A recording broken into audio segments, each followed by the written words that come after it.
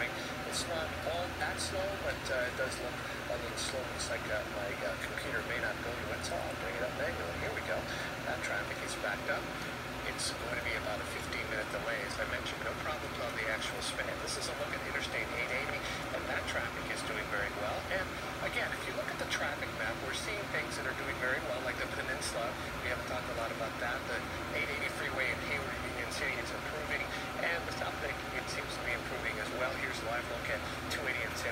looks good.